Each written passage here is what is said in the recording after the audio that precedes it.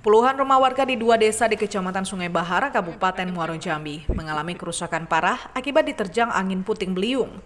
Dua desa tersebut Desa Marga Mulia, Desa Mekarsari Makmur, yang mengalami kerusakan terparah. Saat ini sudah didata oleh pemerintah daerah dan BPBD Muaro Jambi.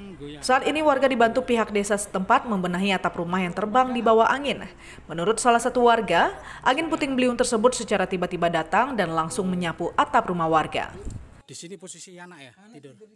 banjir Ya. kena ampias Ah, banjir jadi ngangkatin ini mau tidur di sini Iya. giliran ini udah ke sini sengnya terbang Oh jadi ya. mau aja lah terbang Ah. terus ininya mulai jatuh-jatuh Oh begitu. bapaknya ngelindungin anak jadi makanya itu lecet tuh Oh iya ya. Masyarakat juga langsung keluar semua pada nengokin oh nengok semua ya. Iya. Oke oke. Besar tak bu anginnya kata gitu? Oh kenceng kali Oh, kenceng ya? kali, kayak pasir malah bunyi sur sur gitu Oh iya.